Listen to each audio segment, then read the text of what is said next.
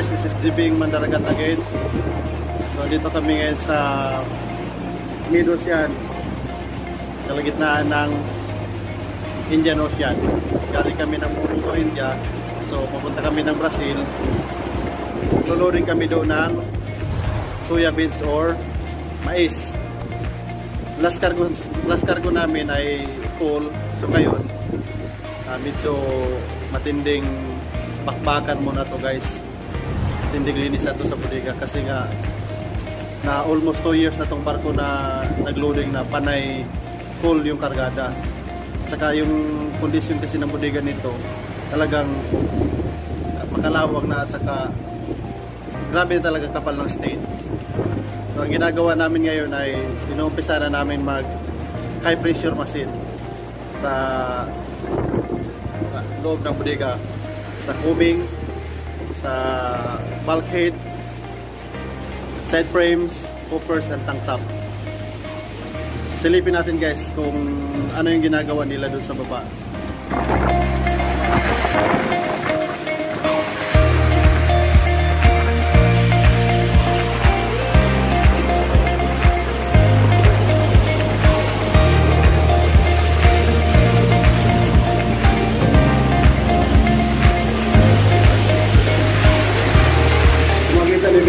Kalawang na dito.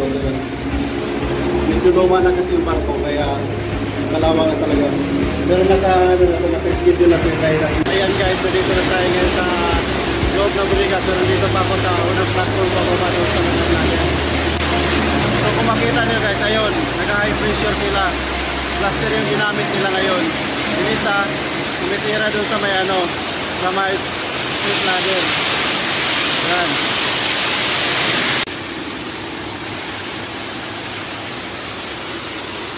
Hindi kasi namin siya tinira ng seawater guys kasi pag pag wasingan namin siya ng seawater mas mahirap ano mas mahirap linisin. At saka pag in-applyan namin ng chemical ito hindi gaano ano hindi gaano tatalab yung chemical kasi nga yung seawater mas maganda na tong fresh water muna nung ginamit namin. Saka yun na rin ang ano yun na rin ang nagiging instruction sa instruction sa yung taga cleaning gang at saka mas mabilis itong trabaho namin ngayon. Kung ikumpara mo before na manual kang mapuputok din sa mga side frames na yan at saka sa bulkhead. Ngayon, may ano na tayo, may high pressure machine, dalawa pa yan. Kaya mas mabilis yung ano, trabaho.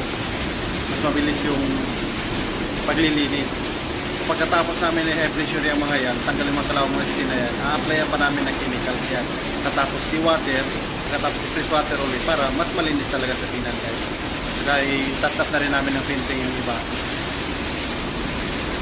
Ah, baba tayo. At tingnan natin ng ano, mas malapitan yung pinagagawa nila doon sa baba.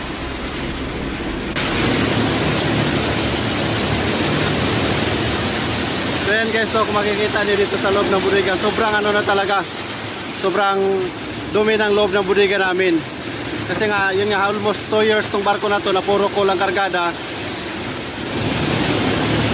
Saka ngayon lang to mag, ano, mag-grains uli. At saka yung ano, yung budiga natin kasi since 2010, pagkuha nitong barko na to, ay hindi pa sandblast sa dry dock. Kaya medyo makalawang na rin to. Dalawang magiging problema namin dito ngayon guys. Yung stain at saka yung kalawang. Yung stain, bahala ng ano dyan, bahala na yung mga cleaning gang. Sa amin kasi ang concern namin dito ay yung kalawang. Sobrang dami talaga guys. Kung tuktukan mo yung kalawang diyan guys, simula pa lang din sa may hagdanan na yan. Diyan. O ba, hanggang sa dito sa hopper. Ay aabot talaga to guys at isang toniladang ano, kalawang makukuha mo dito. Sobrang kapal. Yan, kita nyo naman yan. Pero think positive pa rin tayo guys positive pa rin ano natin dito yung isipin natin na papasa pa rin to sa ano cargo hold inspection pagdating sa Brazil. Ayan ngayon si Bosoin siya yung ano nagpa-blaster siya yung nag-high pressure diya sa ano. Tinatanggal niya yung mga kalakalawang na nakanganga diyan sa may side seal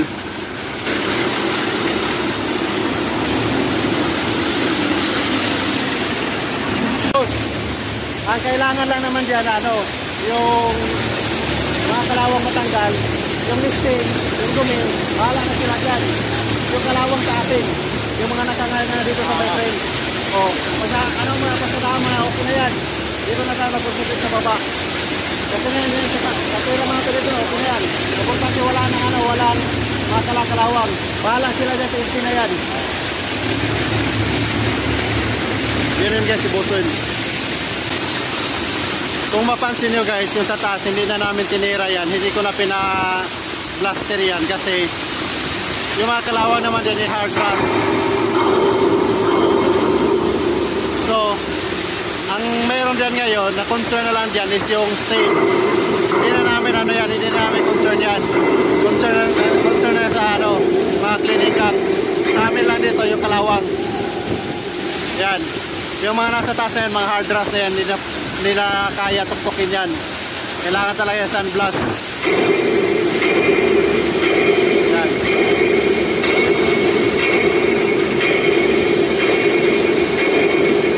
Alam naman natin guys, pag nagsusurvey yung mga surveyor, ang pinaka-importante, yung ano lang yung naaabot sa naaabot nila. Minsan, gumagamit sila ng hagdanan, pero bihira na talaga yung makakit sa matataas na parte ng ano, bodega. Kaya i-concentrate natin ito dito sa mabababa na area.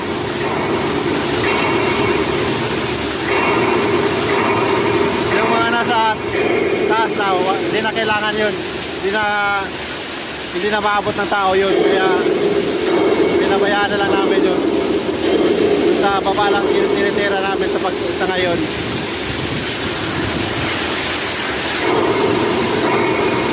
At saka yung mga hagdanan nga.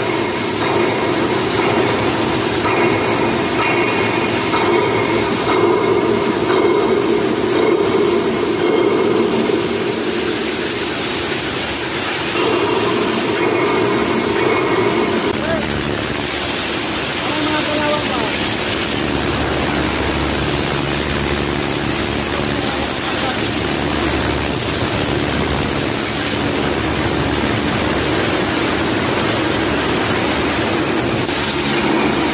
Yan guys, kung makikita nyo yan, yun yung mga kalawang na naglaglagan. Kapapasok ko doon, may nagpupukpok din ng, ano, ng mga kalawang, may nagkakatok doon sa may ano, Austra- Australian ladder para matanggal yung mga malalaking kalawang doon kanina.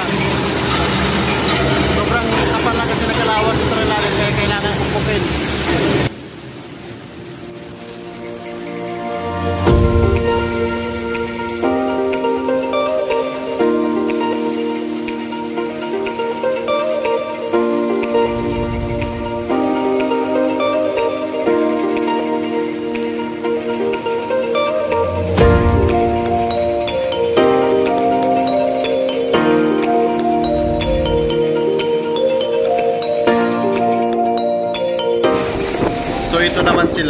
Naman ito, sila ay taga-sinyas at saka taga-bira ng ano, lubid dun sa yung nagbablaster sa baba. So ito yung blaster na ginagamit namin, dalawang high pressure machine. Yan.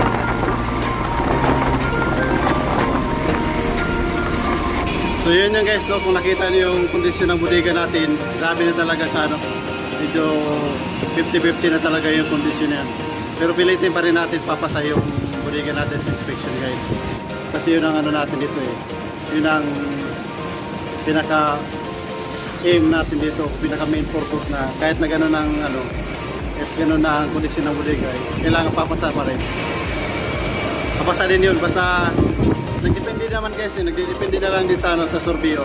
May ibang surveyor naman talaga na lalo na yung mga mat- tatang na, mga matanda na tumanda na sa pagka-surveyor. Yun talaga sobrang may stricto yun.